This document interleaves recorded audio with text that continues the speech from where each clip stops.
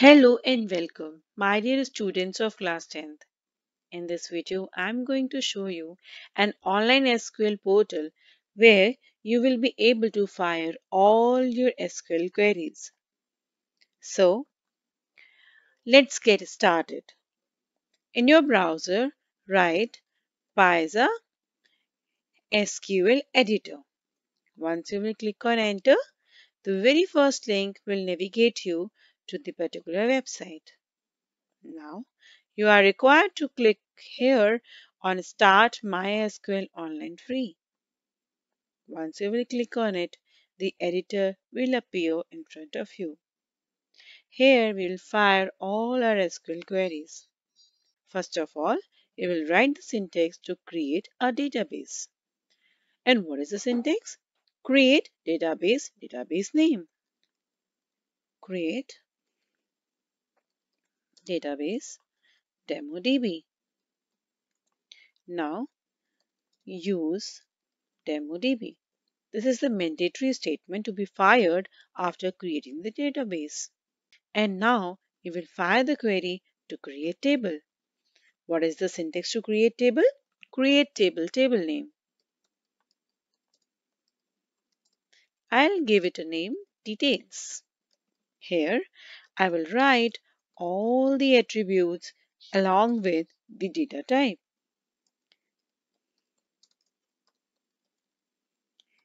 And if I am writing the data type varchar, so I am supposed to give it the memory space too.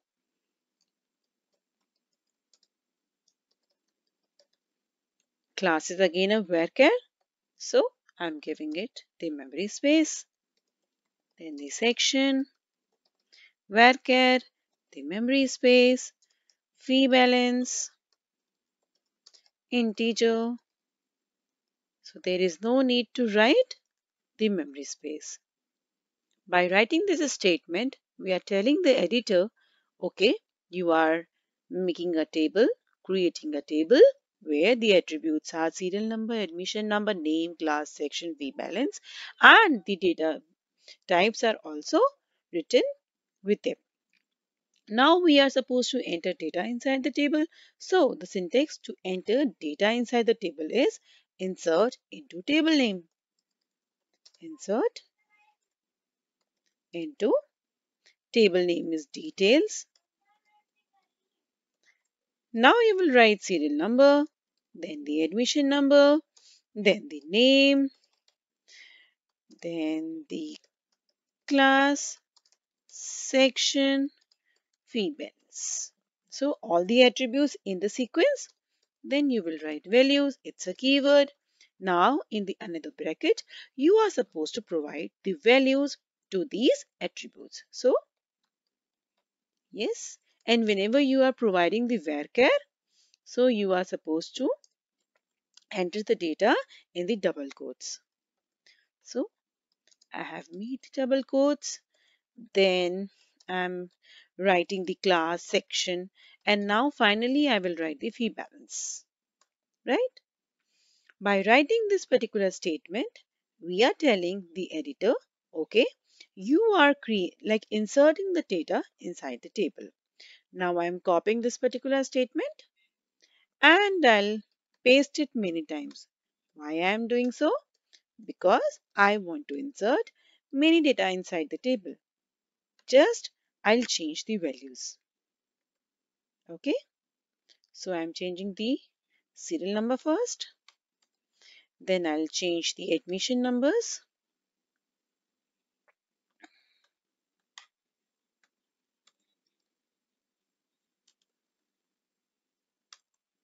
Right. After this, I'll change the names.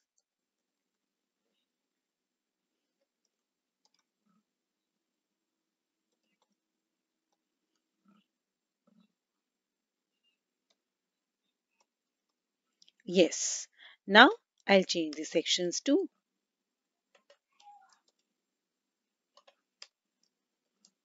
After this, I'll change the fee balance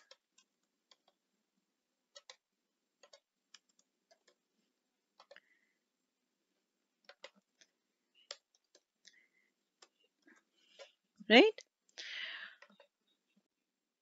now I'll write the syntax to print the data which is inserted inside the table in this output console.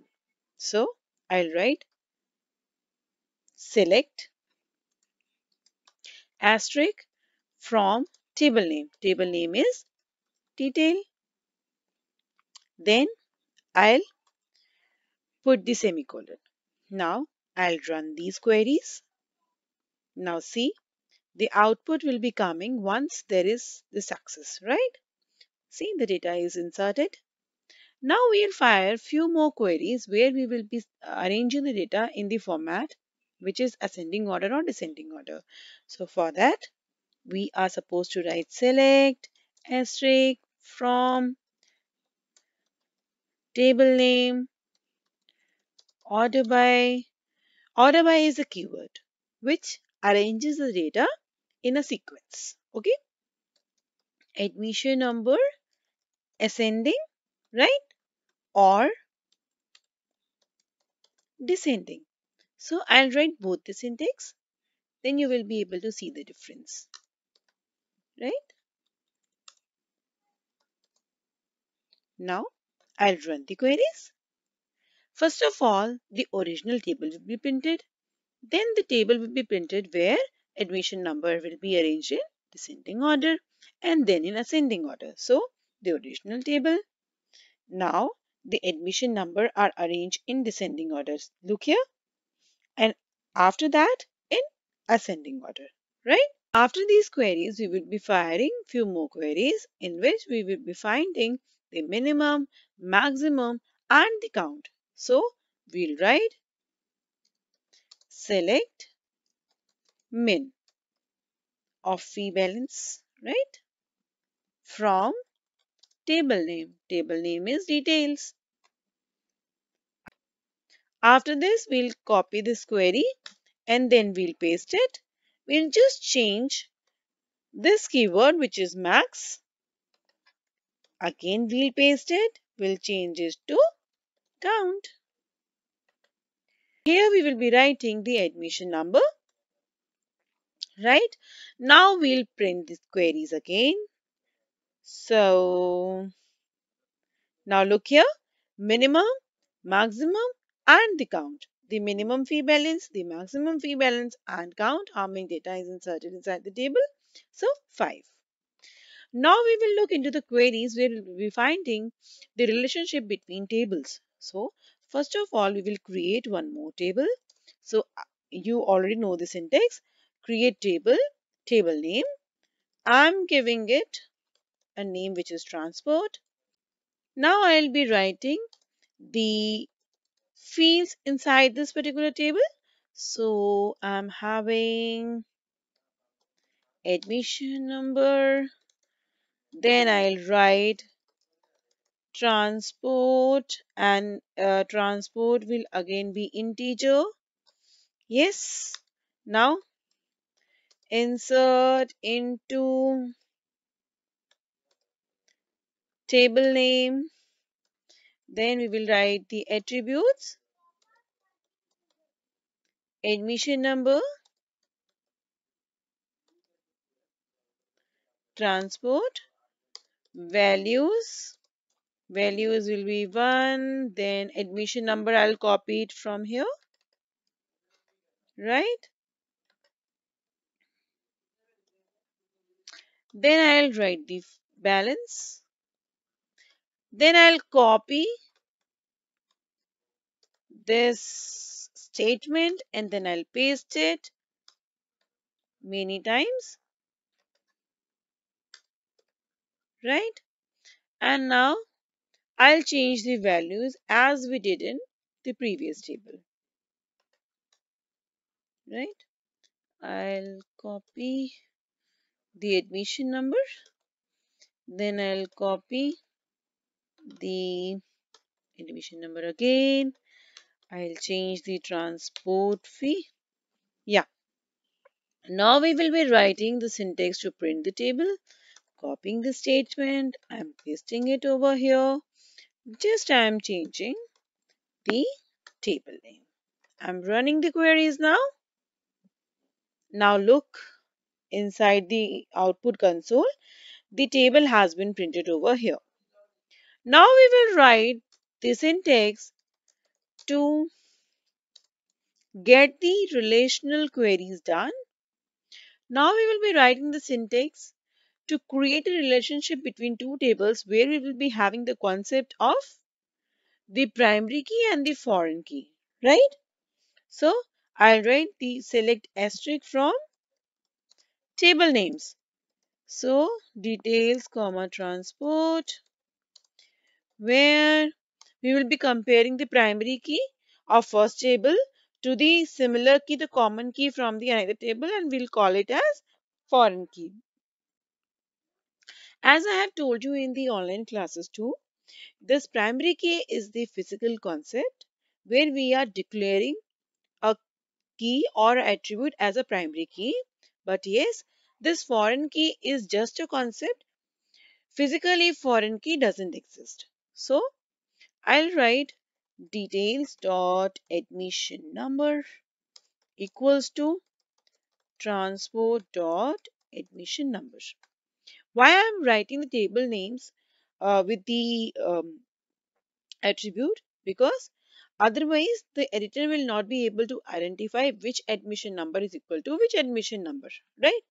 Now I'll print the queries and we will be having only three data. Here 1 3 and 5 where admission number is same. So it print generally prints the intersection of uh, two tables right? We are also having more uh, join queries where we are finding the relationship with um, different tables in table 1 table 2 all the data of table 1 few data of table 2 all the data of table 2 few data of table 1 so these kind of queries are also there. But yes in your course this intersection kind of query is uh, only there.